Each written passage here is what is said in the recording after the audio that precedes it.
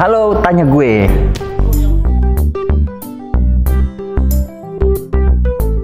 Pertanyaan pertama, ini dari Instagram semua dari Revolution Persija. Hal yang paling berkesan selama berseragam Persija apa nih? Hal yang paling berkesan. Aja. Berkesan eh, satu pernah bawa Persija juara. Kedua sambutan dari para supporter dan The Jackmania alhamdulillah baik terhadap saya. Jadi itu yang paling berkesan selama saya di Persija. Pertanyaan kedua dari Tommy Ardi, tempat favorit di Jakarta di mana? Tempat favorit saya di Pondok Indah Mall karena nggak jauh dari rumah. Eh, makan bisa sambil shopping. Eh, kalau buat olahraga saya di tempat khusus saya olahraga. Pertanyaan ketiga dari Afrizal 0302. Bisa diceritakan pengalaman Kang Sahar yang dulu hampir dengan pensiun dini? Jadi dulu itu semenjak saya di PSM, saya nggak pernah main. Saya main hanya satu kali setengah dalam arti sekarang main full, besok main satu babak gitu.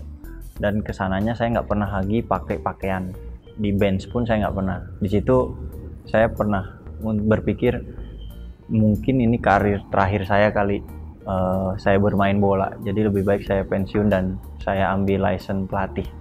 Tidak lama dari situ putaran pertama mau habis, eh, pihak Persija menghubungi saya untuk bergabung dan saya sangat senang dan tak ambil pusing. Jadi saya ambil eh, langkah itu untuk pindah ke Persija dan alhamdulillah pas saya pindah ke Persija saya membuktikan kata-kata negatif dari orang lain sehingga saya bisa bermain dan tampil maksimal dan membantu eh, Persija bisa meraih juara.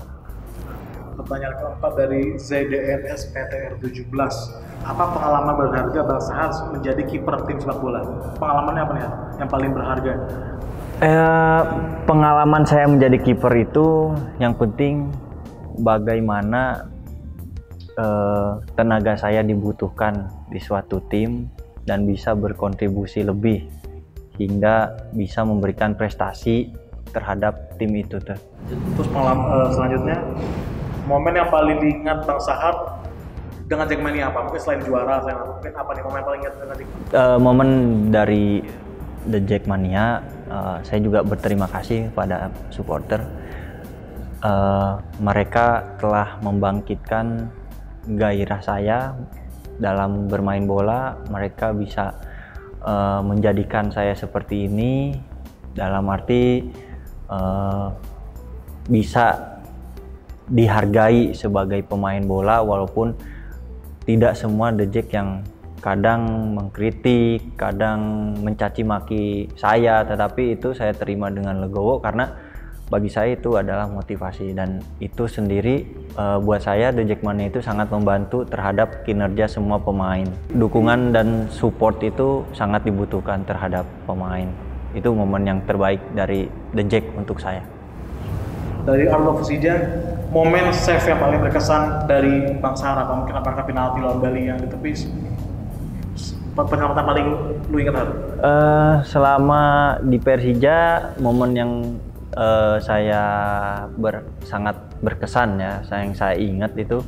Pertama saya masuk Persija, saya langsung main lawan Bayangkara, saya men- me- menyelamatkan peluang yang krusial di menit-menit akhir dari Bayangkara sehingga kita bisa memenangkan tetap memenangkan pertandingan tersebut dengan 1-0 dan eh, momen itu ada lagi di saat saya bermain di final Piala Indonesia lawan PSM saya bisa menahan eh, beberapa save yang peluang mereka sehingga kita juga bisa menang 1-0 di GBK.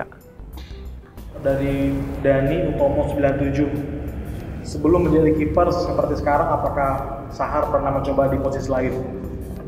Di Eh, selama saya bermain bola nggak pernah sih saya pindah dari posisi tetapi sebelum saya jadi pemain bola dulu saya itu ikut atlet bulu tangkis dan sampingannya basket. Jadi sampai sekarang nggak ada saya pernah coba posisi lain. Mungkin kalau bertanding atau fun football saya baru uh, posisinya striker. Dari MHM Mama Saiful 04, apa hewan yang ditakuti Bang Sahar? Hewan yang saya takuti mungkin kecoa kali. Kenapa tuh? Karena nggak pernah lawan burung? Jijik banget kecoa. Dari Iculun, Kang Sahar kalau udah pensiun mau jadi pelatih bola, apa jadi bodybuilder? Apa jadi pelatih PT gitu? Saya jadi pelatih bola, saya utamain, tapi eh, di balik itu untuk menjaga kesehatan saya, saya menjaganya di tempat nge-gym. Dari Edi Syaputra Bang kenapa lu sama sama Toncip ada apa nih hubungan sama Toncip ah. Sejarahnya? Karena pas saya masuk Persija untuk tahun berikutnya kebetulan Tony ke Persija jadi saya lebih baik sekamar dengan dia karena saya udah mengetahui karakter beliau semenjak saya di Persib Bandung selama tiga tahun. Dan keluarga saya termasuk istri mengenal sosok istrinya Tony jadi kita berteman baik. Ya sharing-sharing sih nggak ada ya. Kalau tentang bola paling kalau sesudah pertandingan baru sharing. Kalau saya main dia main saya sharing kalau untuk hal lain paling ngebahas makanan kita mau kuliner apa kalau pergi ke kota ini ke kota itu itu aja sih nggak lebih mungkin beberapa pertanyaan terakhir lah dari Meta Bulu 13 laga yang paling berkesan selama membela Persija apa? Laga buat saya yang berkesan itu pertama lawan Persib Bandung di GBK, kedua lawan PSM di GBK. Kenapa itu dua-duanya? Karena kalau lawan Persib itu kan uh, atmosfernya panas. Uh, bukan berarti saya mantan Persib, tetapi itu yang dibilang para supporter kedua pihak yang di mana tensi pertandingan itu akan sangat tinggi di situ. Dan pertandingan pun supporter sangat banyak di stadion.